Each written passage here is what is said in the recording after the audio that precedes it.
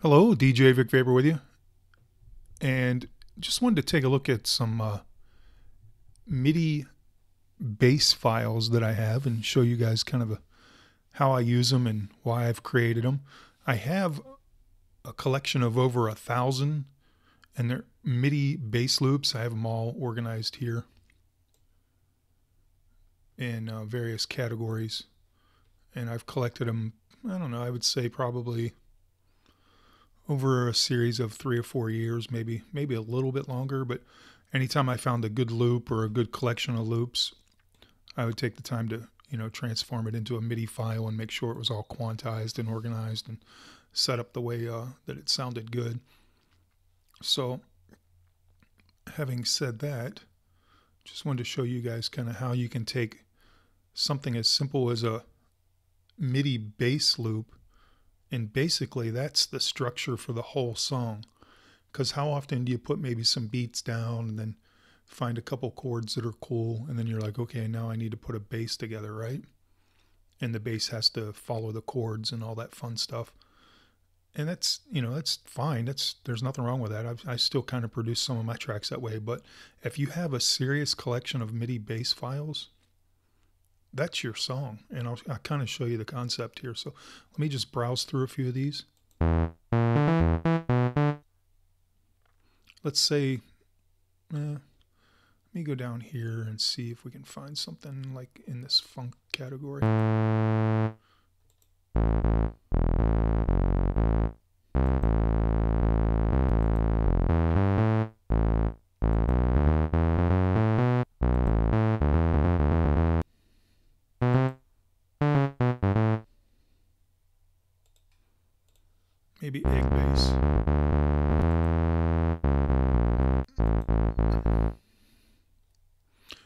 Doesn't matter what I pick.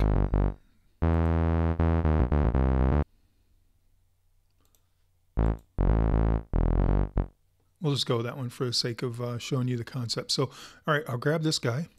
I'll bring it over here, and I'm going to drop it into a channel I already have set here. And I have Cthulhu on here and I just picked a Bach chorale, doesn't matter which one. I can change it if I want. But Cthulhu is now, actually, let me put it on this channel first. This is my bass channel. So there's our bass loop. So how can we make, how can we take that and make a track out of it? So we've got it right here. Let me um, alt drag it to the Cthulhu channel. And of course, as you know, Cthulhu takes each note and makes chords out of it. So what we can do is we can use Cthulhu to generate a chord pattern that's going to follow our bass pattern. And all we got to do is find something we like. So I've got Cthulhu routed over to um, a synth here. So let's see what we get, and then we can kind of experiment with different sounds that we like.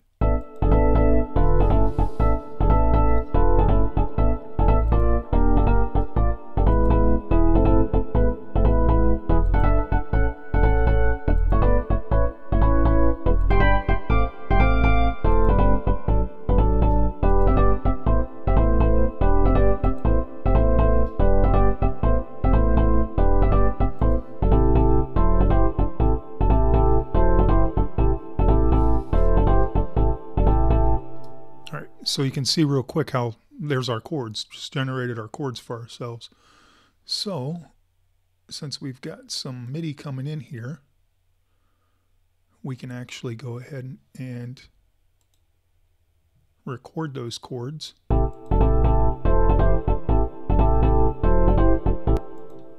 And there's our chords right there, just recorded from Cthulhu. So now I've got my bass pattern, I got my chord pattern, and what I can do now is go ahead and I don't need this pattern here in Cthulhu anymore in the Cthulhu channel anymore. I'll alt drag this guy up. Let's get these guys over here a little bit out of the way. And now let me unarm that. Let's go ahead and tell Cthulhu from these chords make us an ARP pattern.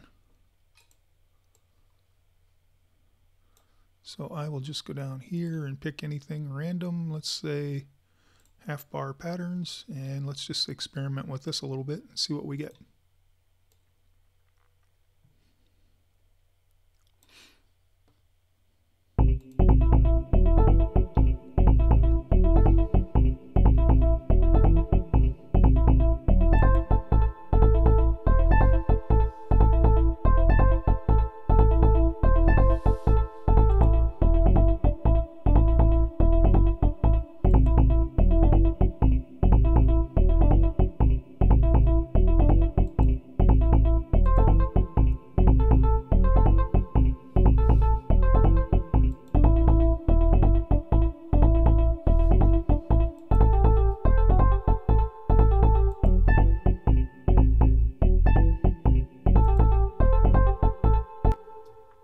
Just generate that one because I could be here forever. It gets a little bit of fun to explore this stuff. So let's go ahead and record those arp patterns in.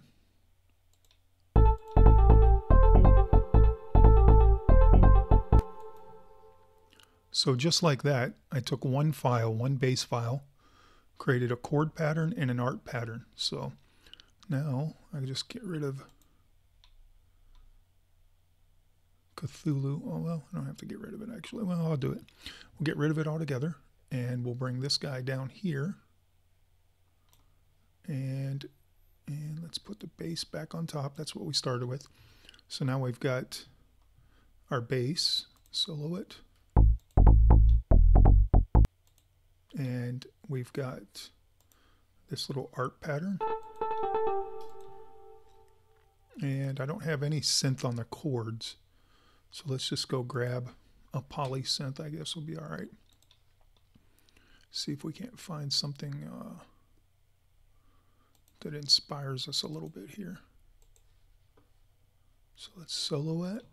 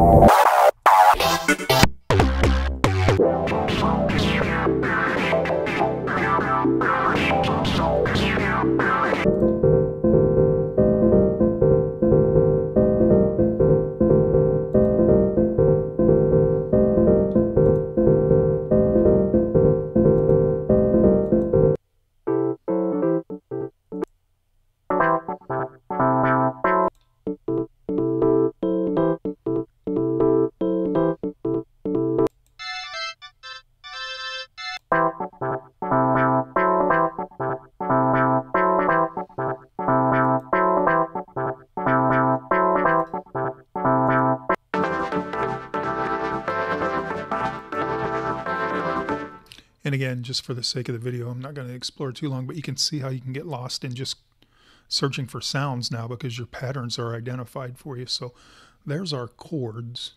So we've got our chords and our bass.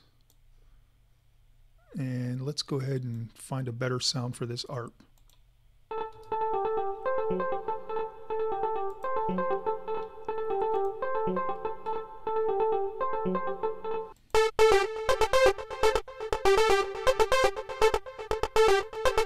That'll work. So let's so let's hear it all together real quick here.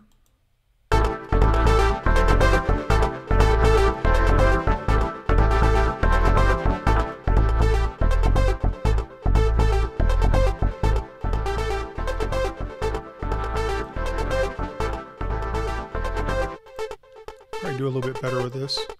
It's a little trancy.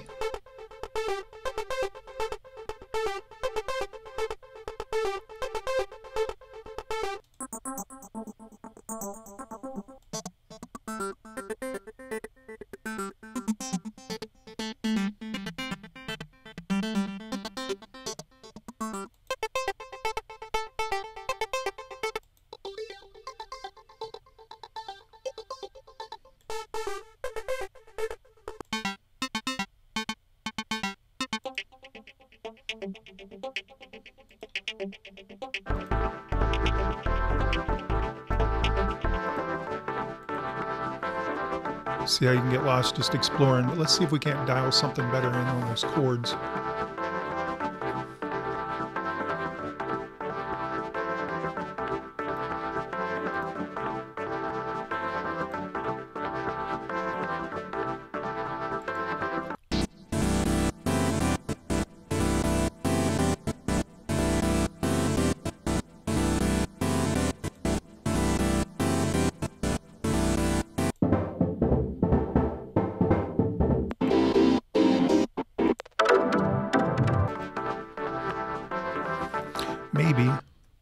Using uh, the polysynth isn't the way to go here. So let's try the FM, see if it has any better selections for us.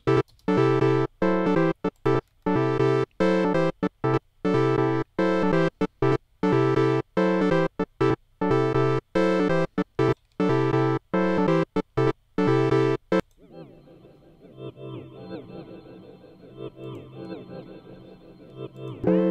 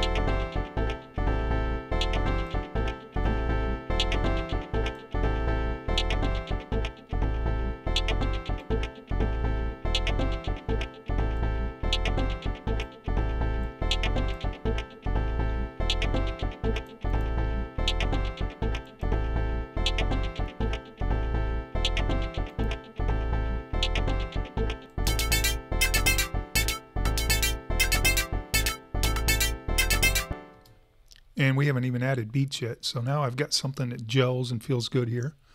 Got a bass, piano, and an arp. It's going to get real stupid as soon as we add some beats. So let's see what happens.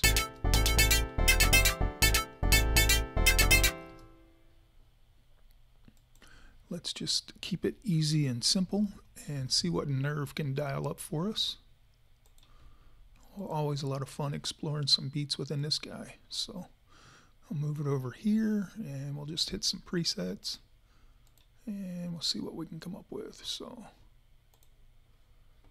we'll see what we get.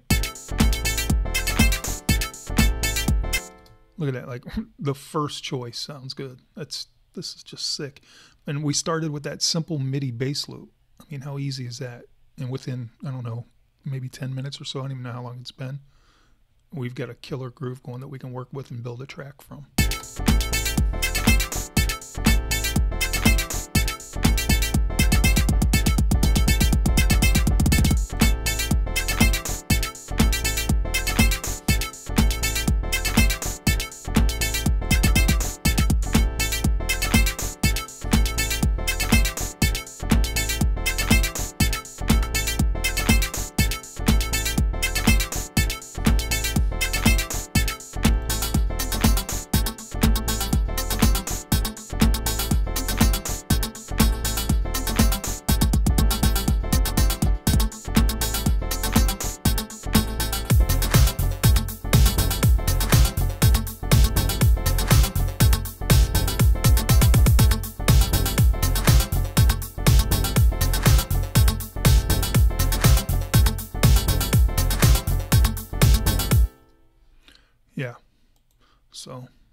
Inspires me immediately.